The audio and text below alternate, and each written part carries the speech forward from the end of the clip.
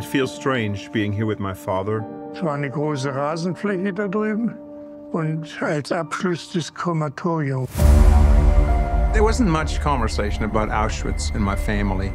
It is a fact. My grandfather is the greatest mass murderer in human history.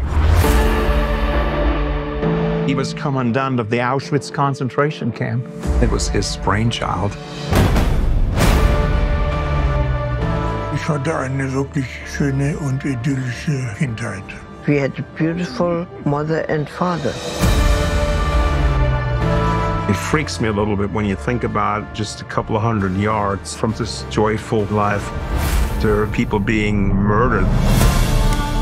We were just a normal German family. Then the lovely Mr. Hitler appears. We became an abnormal Jewish family.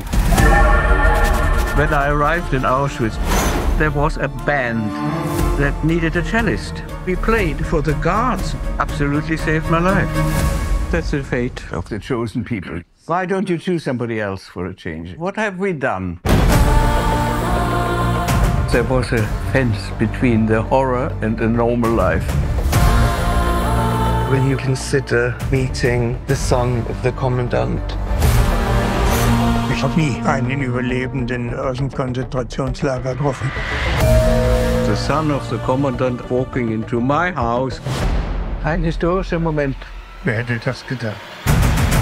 So do you hate your father now? What is your feeling? The Holocaust throws a long shadow.